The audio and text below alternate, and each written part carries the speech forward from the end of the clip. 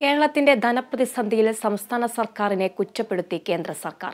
സാമ്പത്തിക പ്രതിസന്ധിക്ക് കാരണം കേരളത്തിന്റെ മോശം ധന മാനേജ്മെന്റ് എന്ന് കേന്ദ്ര സർക്കാരിന്റെ വിമർശനം. സുപ്രീം കോടതി നൽകിയ സത്യവാങ്മൂലത്തിലാണ് വിമർശനം. കടക്കെണിയിലായ സംസ്ഥാനങ്ങളുടെ പട്ടികയിൽ ധനകാര്യ കമ്മീഷൻ കേരളത്തെ ഉൾപ്പെടുത്തിയിട്ടുണ്ട്. റവന്യൂ വരുമാനം ഏറ്റവും കുറഞ്ഞ മൂന്ന് സംസ്ഥാനങ്ങളിൽ ഒന്നാണ് കേരളമെന്നും കേന്ദ്രം കോടതിയെ അറിയിച്ചു.